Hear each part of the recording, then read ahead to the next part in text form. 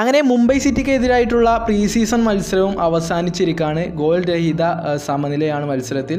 രണ്ട് ടീമുകളും പൂജ്യം പൂജ്യം എന്നുള്ള ഒരു നിലയിൽ തന്നെയാണ് മത്സരം പിരിഞ്ഞത്. ആദ്യ മത്സരം ഹൈദരാബാദിനെതിരായിരുന്നു. ആ ഒരു മത്സരത്തിൽ രണ്ട് ഗോളുകളാണ് ബ്ലാസ്റ്റേഴ്സ് നേടിയിട്ടുണ്ടായിരുന്നത്. രാഹുൽ കെ പിയുടെ രണ്ട് ഗോളുകളിൽ നിന്നായിരുന്നു ബ്ലാസ്റ്റേഴ്സിന്റെ ആ ഒരു വിജയം വന്നിട്ടുണ്ടായിരുന്നത്. ഇന്ത്യൻ സ്ക്വാഡ് വെച്ചിട്ട് തന്നെയായിരുന്നു ഈ രണ്ട് പ്രീ സീസൺ മത്സരങ്ങളിലും ബ്ലാസ്റ്റേഴ്സ് ഇറങ്ങിയിട്ടുണ്ടായിരുന്നത്.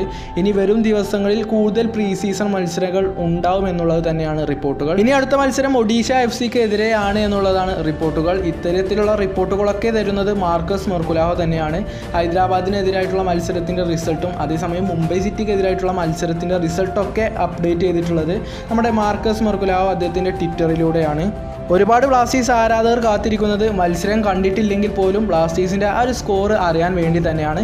അതുകൊണ്ട് മാത്രമാണ് ഈ ഒരു വീഡിയോ ചെയ്തിട്ടുള്ളത്. അപ്പം കൂടുതൽ പേരൊക്കെ അറിഞ്ഞിട്ടുണ്ടാവും. എങ്കിൽ പോലും അറിയാത്തവർക്കായിട്ട് മാത്രമാണ് ഈ ഒരു വീഡിയോ ചെയ്തിട്ടുള്ളത്. അപ്പോൾ വീഡിയോ അവസാനിക്കുന്നു. വീഡിയോ ഇഷ്ടമായെങ്കിൽ ലൈക്ക് ചെയ്യുക ഷെയർ ചെയ്യുക. നിങ്ങളുടെ വിലയേറിയ കമന്റ് തീർച്ചയായിട്ടും കമന്റ് ബോക്സ് രേഖപ്പെടുത്തുക. ആദ്യമായിട്ട് കാണുന്നവരുണ്ടെങ്കിൽ ചാനൽ ഒന്ന് സബ്സ്ക്രൈബ് ചെയ്ത് വെച്ചേക്കുക അടുത്ത വീഡിയോയിൽ കാണാം. അതുവരേക്കും.